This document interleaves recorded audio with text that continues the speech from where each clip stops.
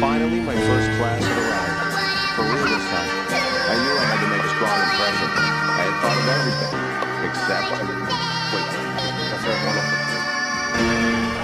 Oh, oh Professor. Oh,